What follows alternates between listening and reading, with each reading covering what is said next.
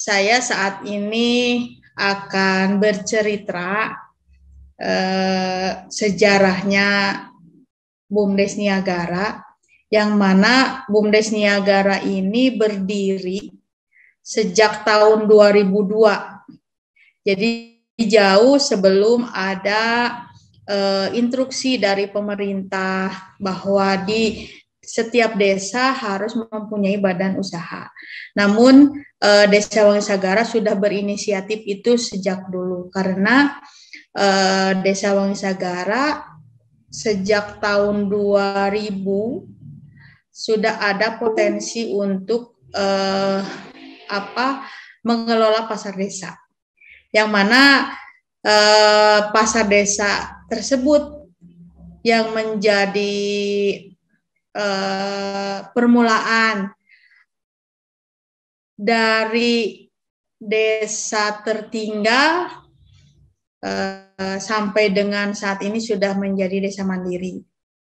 Dan uh, mungkin Pak Kades uh, ada slide yang bisa ditayangkan agar membantu uh, apa uh, uh, ada data-data di sana, ada sejak sedikit sejarah uh, sejak betul yang dikatakan sama uh, Pak Kades Iwan bahwa Desa Wangisagara dulu itu termasuk desa tertinggal. Namun di tahun 99 Desa Wongsagara eh, dapat bantuan dari program P3DT sebesar 150 juta.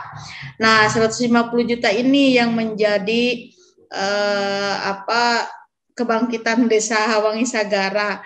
150 juta dibangunkan sebuah pasar desa yang mana pasar desa tersebut adalah suatu impian untuk uh, dari para tokoh Desa Wangisagara bahwa di Wangisagara harus uh, berdiri pasar desa. Nah, karena di sini ke pasar induk itu lumayan jauh, lebih dari 3 sampai 4 km. Dan potensi uh, secara wilayah juga Desa Wangisagara dilalui oleh beberapa desa dan kecamatan. Nah, Sejak uh, ada bantuan tersebut, pemerintah desa bersepakat untuk membangun uh, pasar desa di atas tanah kas desa. Yang awal mulanya 48 kios, terus diangkat uh, melalui musyawarah uh, desa. Kalau sekarang, tetapi kalau dulu istilahnya beda ya.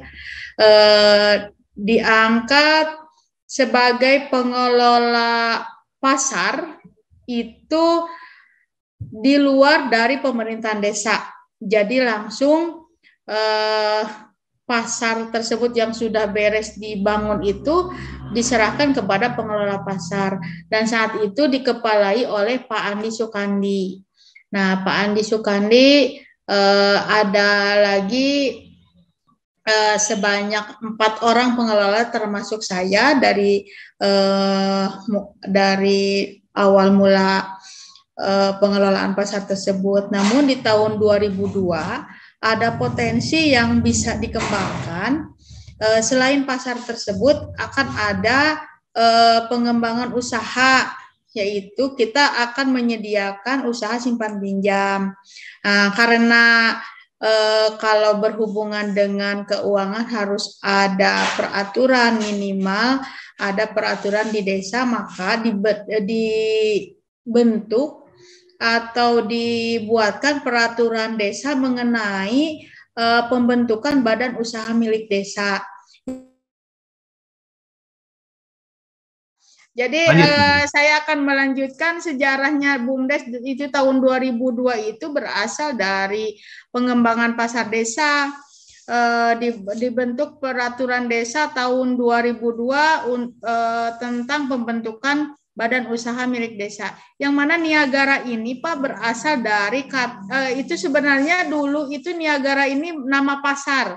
Jadi dari berasal dari kata berniaga di Wangisagara. Itu yang beri, memberikan nama itu adalah Pak Andi. Uh, beliau adalah sebagai uh, apa kepala pasar sekaligus kepala uh, bumdes yang pertama di sini. Jadi saya menyebutnya beliau adalah pahlawan Wangi Sagara karena dengan bimbingan beliau kami di sini uh, bisa melanjutkan usaha-usaha uh, yang memang kita kembangkan uh, lebih dari kalau untuk sekarang lebih dari dua atau tiga unit usaha gitu ya. Ya itu berawal dari hanya pasar desa yang diberikan uh, oleh pemerintah oleh pemerintahan desa agar dikelola. Dan dari 150 juta tersebut kita kelola, kita kembangkan lagi ada usaha simpan pinjam.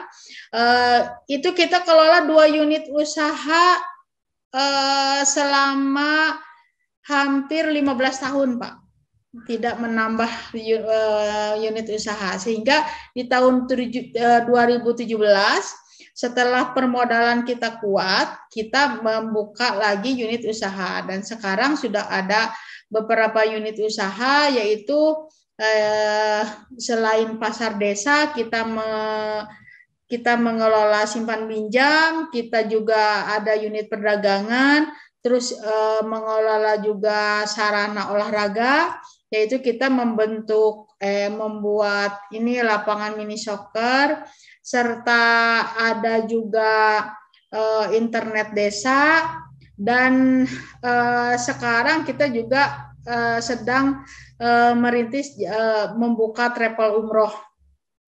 Itu dan betul yang dikatakan oleh Pak Kades, kita perputaran uangnya sampai 30 miliar satu tahun dan terakhir di tahun 2022 kita uh, bisa memberikan PADES yaitu sebesar 1,5 M.